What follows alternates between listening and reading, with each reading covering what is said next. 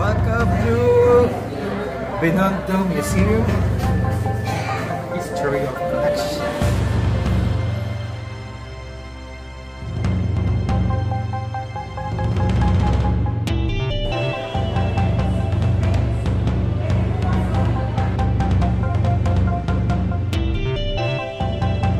Join me as we explore and learn about the rich history of Binondo in the Chinatown Museum.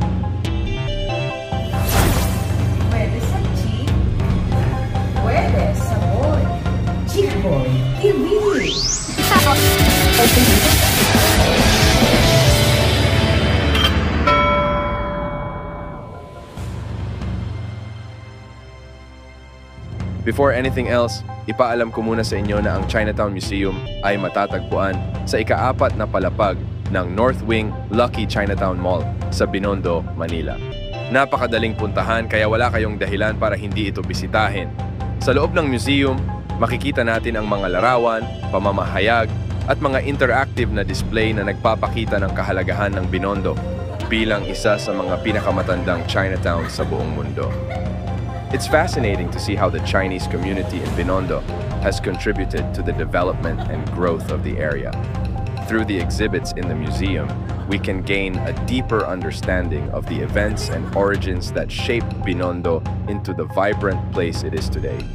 Dito sa Chinatown Museum, marami tayong matututunan tungkol sa kultura ng mga Chino sa Binondo, gayon din ang mga tradisyon at pamayanan na bumuo sa kasalukuyang Binondo. As we entered the museum, na-amaze kami sa ganda ng bawat gallery na bumubuo sa buong lugar na ito. Una sa lahat, ang museum na ito ay isang espasyo na naglalayong ipakita sa atin ang visual na kuwento ng Binondo bilang isa sa pinakalumang Chinatowns sa buong mundo. Let's start our journey sa unang gallery na tinatawag na Mission Settlement. Dito namin naranasan ang buhay sa Binondo noong sinaunang panahon kung paano nabuo ang misyon ng mga Kastila na palaganapin ang Kristyanismo sa mga Chino.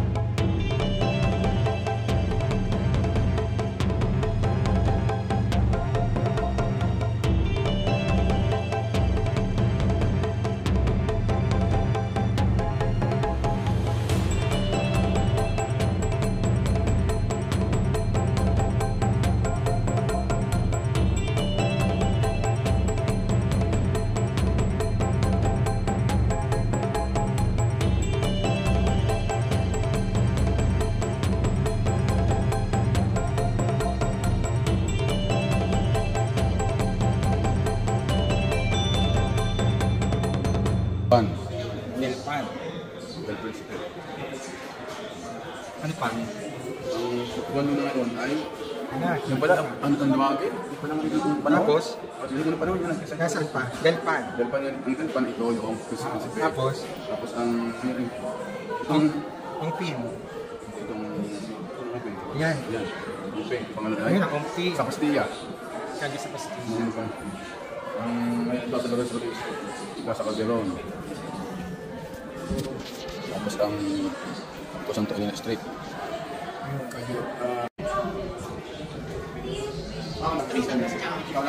Ito ka na, Doctrina Christiana. in, in uh. Christian, Christian doctrine in Spanish and Tagalog languages para sa for the religious of the Imperia, Continentia, and and San Gabriel, Saint Saint Gabriel of the Order of Dominican Order, Dominican Order, Dominican Order in Manila. Pagkatapos nito, napunta kami sa Figures of Faith Gallery, kung saan ipinakita ang iba't ibang religious figures ng mga Chino at kung paano ito naging bahagi ng kanilang kultura.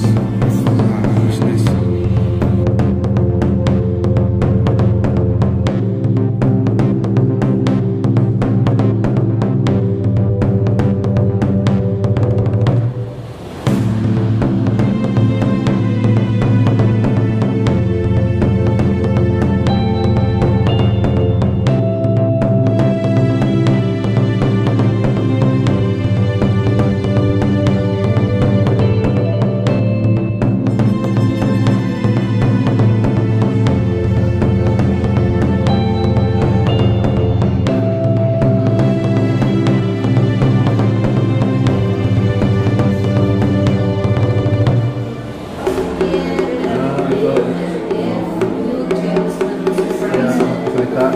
definido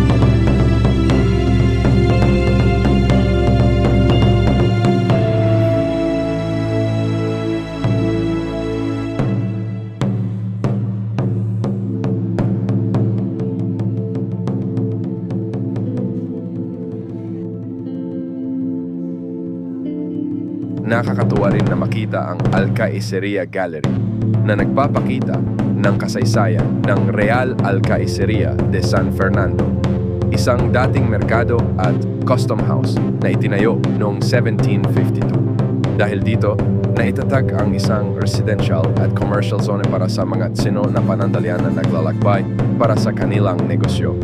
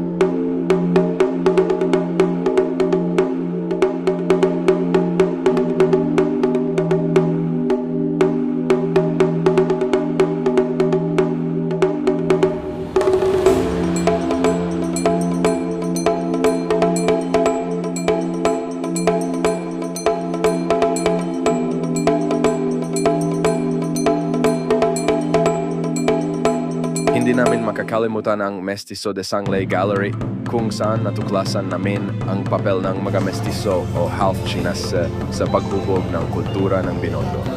Napakarami pang ibang mga espasyo tulad ng shophouses, industries, Esteros de Binondo, LAT2, Origins of Evolution, Turn of the Century, Botica de San Fernando, Rosario Gallery, Flavors of Binondo, Tranvia, La Estrella del Norte, Escolta Gallery, at Masic Gallery na inyong makikita sa loob ng Chinatown Museum.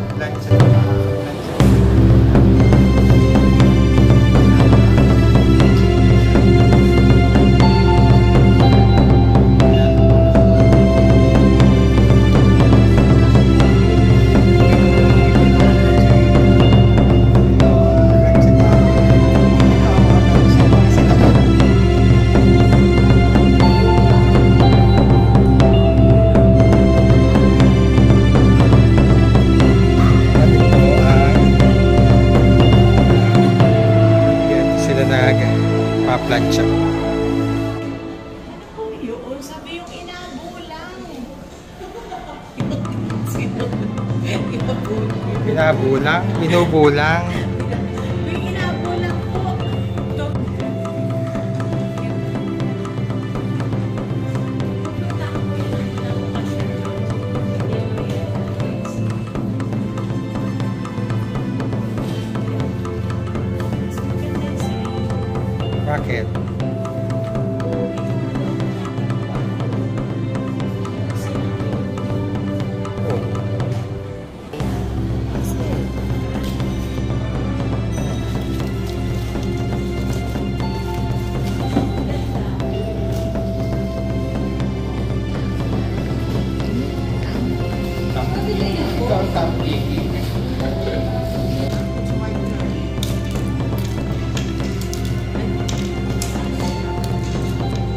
そう。か。そうか。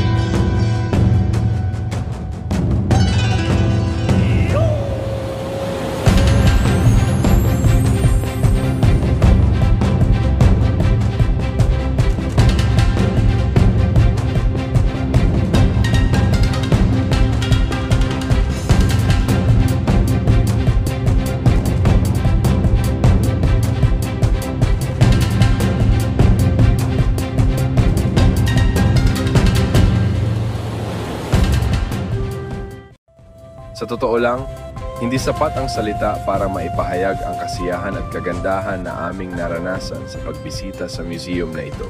Higit sa lahat, malaki ang pasasalamat namin sa mga taong naglaan ng oras at pagsisikap para masigurong maipakita ang tunay na kwento ng Binondo. Kaya sa aming mga ka-vlog, samahan nyo kami sa pagtuklas at alamin ang mga kahangahangang kwento na matatagpuan sa Chinatown Museum. Hindi lang ito sa mga Chino, kundi para sa lahat ng interesado na masiyahan at matuto sa kasaysayan at kultura ng Binondo. Salamat sa inyong panonood. Hanggang sa susunod na paglilibot ko, maraming salamat ulit at mabuhay.